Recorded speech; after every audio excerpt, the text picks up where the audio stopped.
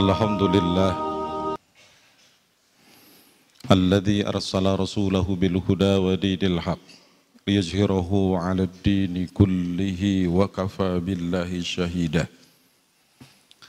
أشهد أن لا إله إلا الله وحده لا شريك له وأشهد أن محمدا عبده ورسوله.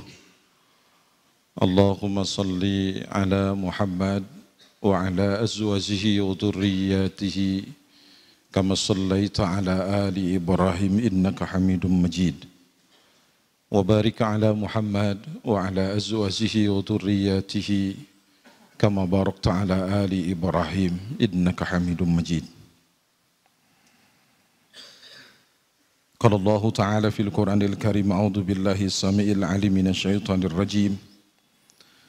يا أيها الذين آمنوا إن كثيرا من الأحبار ورهبان ليأكلون أموال الناس بالباطل ويصدون عن سبيل الله والذين يكنزون الذهب والفضة ولا ينفقونها في سبيل الله فبشرهم بعذاب أليم. وقال رسول الله صلى الله عليه وآله وسلم afdaluhu lisanun dhakirun wa qalbun syakirun wa zawzatun mu'minatun tu'inu ala imanihi. Amma ba'du ayuhal hadirun ittaqullah haqqa tuqatihi faqad fazal muttaqun. Sedang Jumat yang dimuliakan oleh Allah Subhanahu wa taala. Mudah-mudahan hari Jumat ini memberikan kontribusi besar buat kita untuk menjadi orang-orang yang lebih baik dari hari ke hari. Menjadi seorang muslim yang bisa meningkatkan ketakwaan dengan sebaik-baiknya kepada Allah.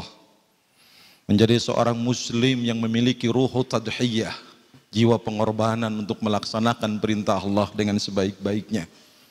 Dan mudah-mudahan di hari Jumat ini adalah hari muhasabah kita. Introspeksi kita agar kita menjadi orang-orang yang dicintai oleh Allah Subhanahu wa taala. Orang-orang yang senantiasa lebih dekat lagi kepada Allah, orang-orang yang mampu untuk menjadi hamba-hamba Allah yang muttaqin. Hadirin sedang Jumat yang dimuliakan oleh Allah Subhanahu wa taala. Dalam hadis riwayat At-Tirmizi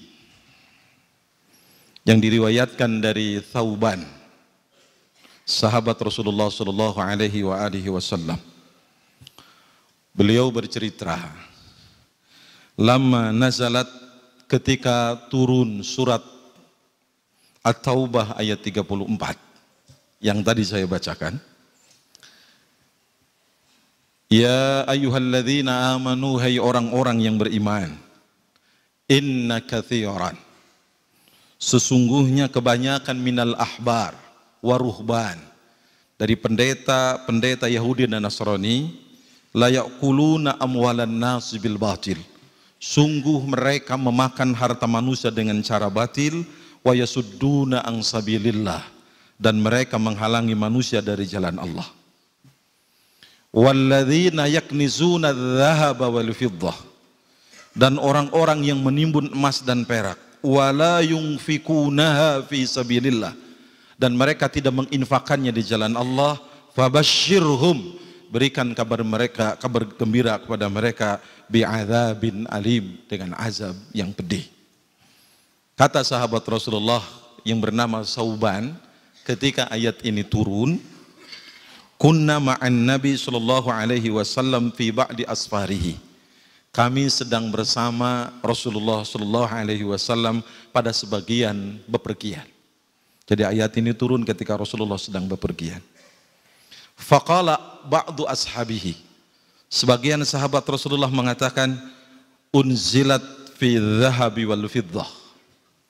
Ayat ini turun berkaitan dengan emas dan perak. Ayat ini turun dengan harta yang paling mewah dan harta ayat ini turun berkaitan dengan harta yang didamba-dambakan oleh manusia. Barangkali begitu tafsiran kita. Sehingga sahabat itu mengatakan, "Lau alimna ayul mal khair fanattakhid." Seandainya ada harta yang lebih baik dari emas dan perak, sungguh kami akan mengambil harta itu. Mendengar ucapan sahabat itu, Rasulullah kemudian menjawab, Ada. Abdaluhu lisanun dzakirun wa qalbun syakirun wa zauzatun mu'minatun tu'inu ala imanihi. Kata Rasulullah ada harta yang lebih baik dari emas dan perak. Yang pertama adalah lisanun dzakirun, kemudian qalbun syakirun dan yang ketiga zauzatun mu'minatun tu'inu ala imanihi. Sedang Jumat yang dimuliakan oleh Allah Subhanahu wa taala, sering kali kita terjebak dengan dunia ini. Seringkali kita dilalaikan oleh dunia ini. Boleh kita jadi orang kaya tidak jadi masalah. Tapi jangan sampai kekayaan kita kemudian melupakan diri kita kepada Allah Subhanahu wa taala. Boleh kita menganggap bahwa orang-orang kaya itu lebih bahagia dari orang miskin. Boleh kita punya anggapan seperti itu, tapi ternyata kekayaan, kebahagiaan itu tidak berbanding lurus tidak semua orang kaya merasakan kebahagiaannya dengan kekayaan itu. Saya bertemu dengan orang yang kaya, dia menangis. Kata Pak Haji itu, Ustaz saya jadi orang kaya. Dulu waktu saya muda saya nggak punya apa-apa. Pengen beli sesuatu saya nggak punya apa-apa Ustaz. Saya nggak bisa beli apa-apa. Karena saya nggak punya apa-apa. Sekarang sudah saya dapatkan kekayaan itu Ustaz. Sekarang pun saya tidak bisa beli apa-apa.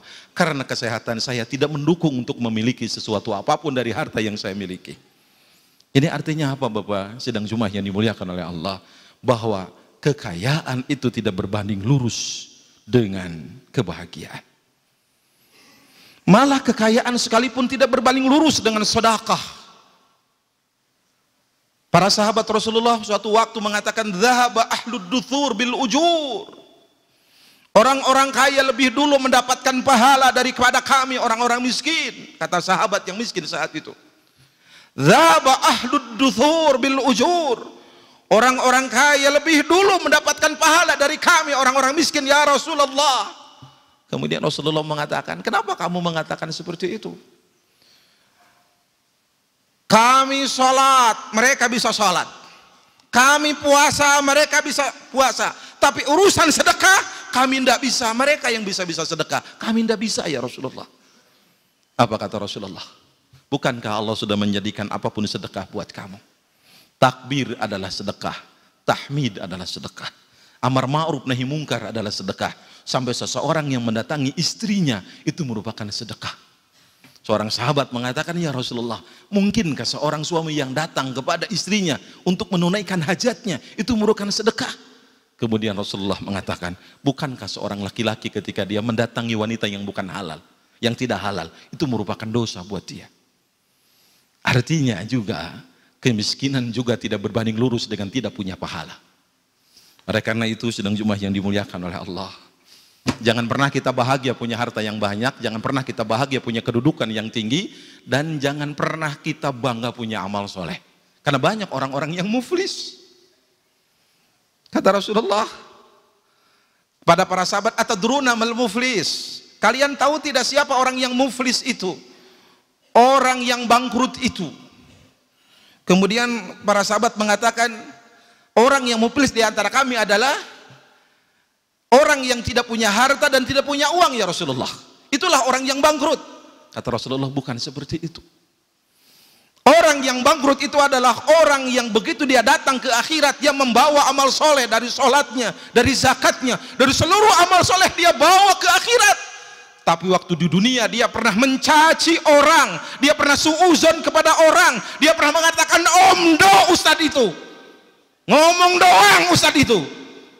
Kemudian di akhirat itu ternyata amal solehnya diberikan kepada orang yang pernah dicacinya, yang pernah difitnahnya, yang pernah dibencinya.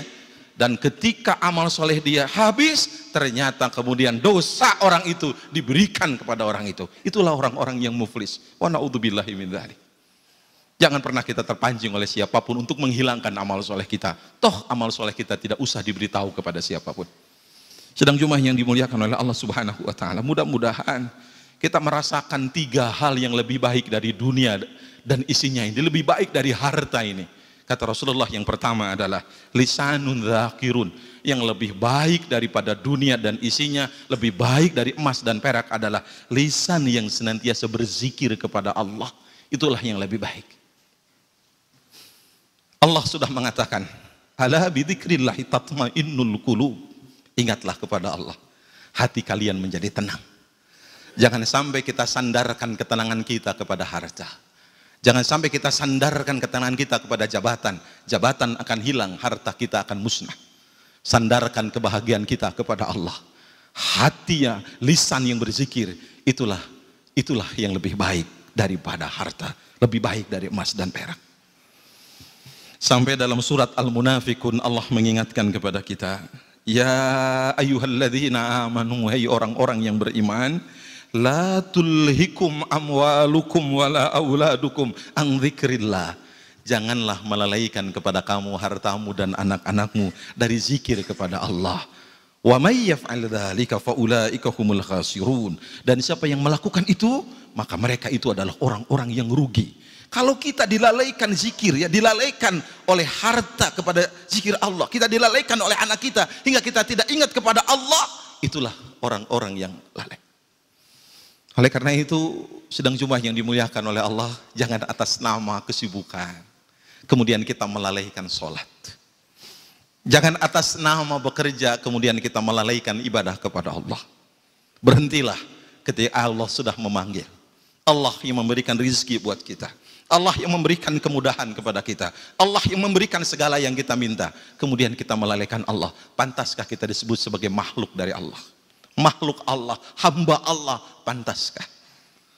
Maka kita menyambut bahagia seorang dekan di Unpad mengeskakan sholat berjamaah. Awalnya orang nggak ngerti, sekarang orang ngerti bahwa kewajiban seorang pemimpin adalah tidak hanya memberikan kebahagiaan secara materi kepada bawahannya, tapi mengarahkan bagaimana bawahannya untuk kenal kepada Allah Subhanahu wa taala. Bahkan di Fakultas Kedokteran ada ada satu SK luar biasa, 15 menit sebelum azan berkumandang. Itu harus sudah selesai seluruh kegiatan. Atau di atau dihentikan dulu, di break dulu kegiatan, baru mulai lagi jam 1. Luar biasa. Kita respon dengan sebaik-baiknya itu. Lisan yang senantiasa berzikir, itulah kebahagiaan. Makanya Rasulullah Shallallahu Alaihi Wasallam dalam hadis riwayat Ahmad mengatakan, Ala ukhbirukum bi khairi a'malikum. Inginkah aku tunjukkan kepada kalian dengan amal yang paling baik di antara kalian?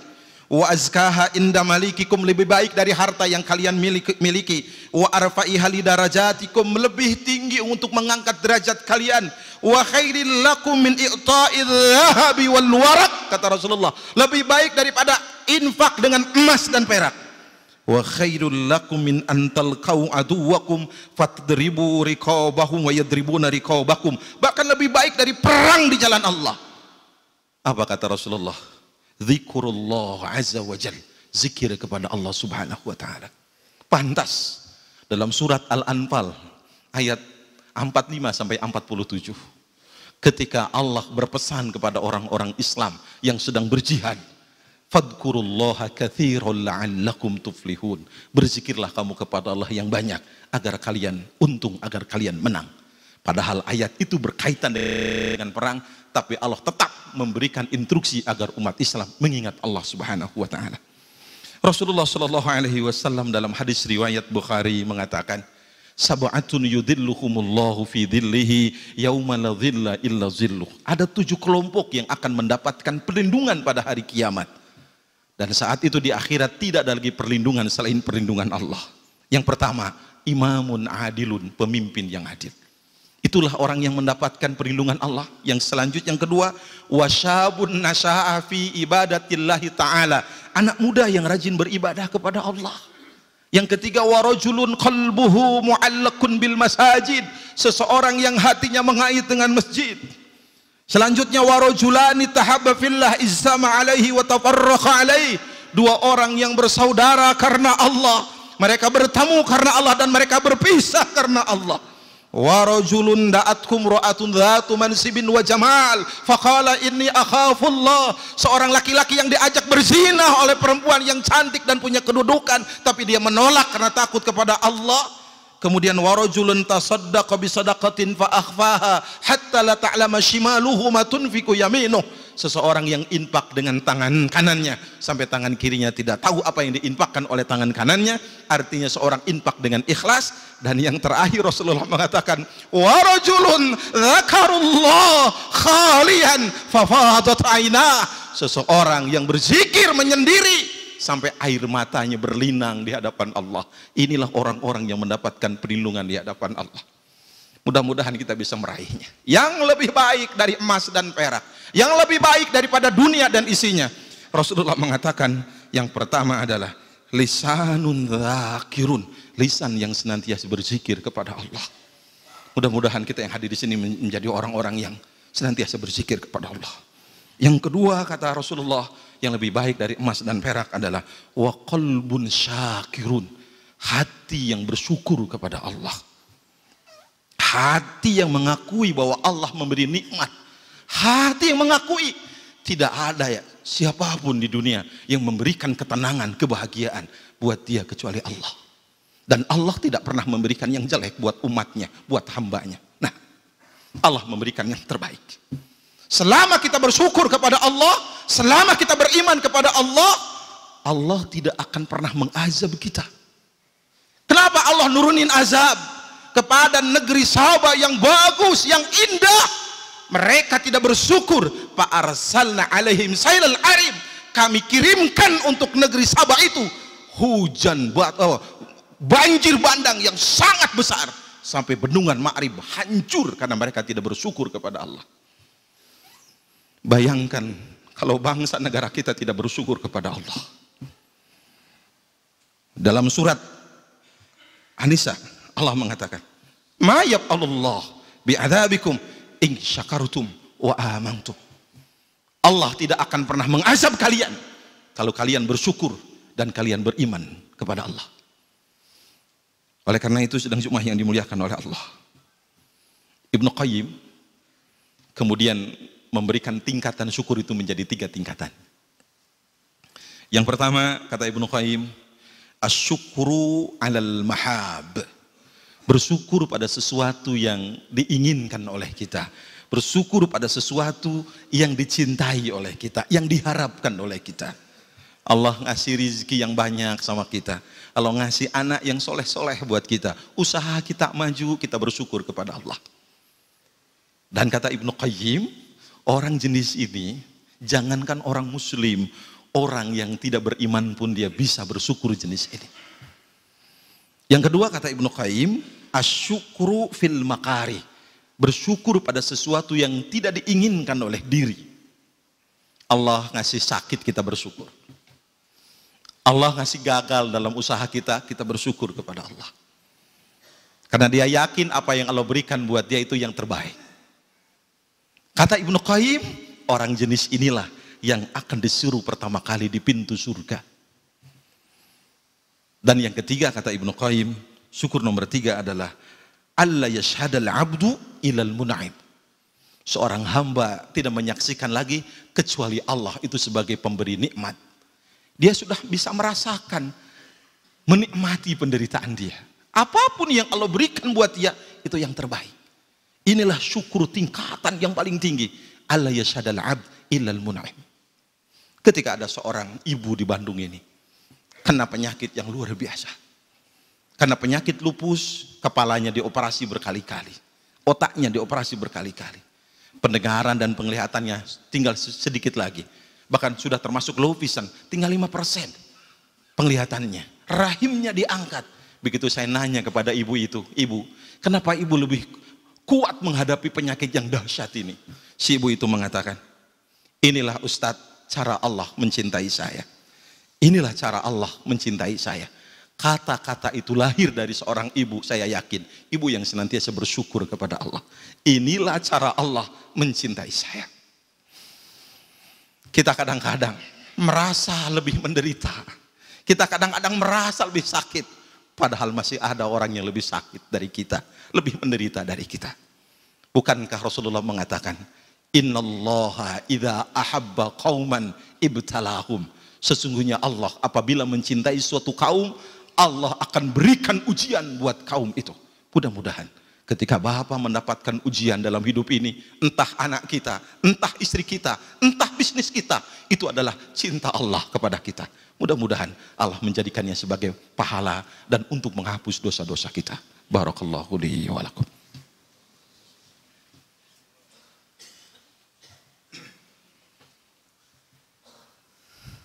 Alhamdulillah. Alladhi an'ama bi ni'matil iman wal islam. Ashadu an la ilaha illallah wahdahu la syarikalah Wa ashadu anna muhammadan abduhu wa rasuluh. Allahumma salli ala sayyidina muhammadin wa ala alihi wa ashabi ajmain. Sidang Jum'ah yang dimuliakan oleh Allah subhanahu wa ta'ala. Pada khutbah kedua ini ingin melanjutkan yang lebih baik dari emas dan perak dari dunia dan isinya. Yang ketiga kata Rasulullah, yang lebih baik dari emas dan perak adalah wa zauzatun mu'minatun tu'inu ala imanihi. Yang lebih baik dari emas dan perak kata Rasulullah adalah istri yang beriman yang membantu iman suaminya. Kita berdoa kepada Allah mudah-mudahan istri kita di rumah menjadi wanita solehah, mukminah yang membantu iman kita. Karena Rasulullah mengatakan, Man razaqahullahu mura'atan salihatan faqad a'anahu ala syatri dinihi. Siapa yang Allah berikan rizki buat dia seorang wanita soleha, Allah telah membantu dia untuk menyempurnakan agama setengahnya. Inilah Rasulullah sudah mengingatkan kepada kita saat-saat kita mencari jodoh dulu. Fadufar bitatiddin taribat yadaka. Pilih olehmu orang yang punya agama, kamu akan selamat. Pilih olehmu orang yang soleha, kamu akan selamat. Mudah-mudahan istri kita di rumah menjadi istri yang solehah, yang membantu iman kita. Berbahagialah bapak-bapak sedang jumlah yang dimuliakan oleh Allah kalau istrinya menegur, ayah sudah berapa juz hari ini ayah baca Quran. Sudah berapa juz ayah hafalkan hari ini. Sudah duha belum ayah? Bagaimana sholat rawatibnya ketika istri kita memberi WA atau SMS kepada kita atau nelpon kepada kita. Ya sebentar lagi zuhur. Hati-hati ya jangan bergaul di luar. Jaga imanmu. Itulah wanita yang salehah. Itulah harta yang lebih baik. Lebih baik dari emas dan perak. Lebih baik dari dunia dan isinya. Jangan sia-siakan cinta mereka. Jangan sia-siakan kasih sayang istri kita. Karena mereka telah membantu kita dalam berjuang di dunia ini untuk menemukan diri kita, menemukan Allah dan menemukan amal soleh.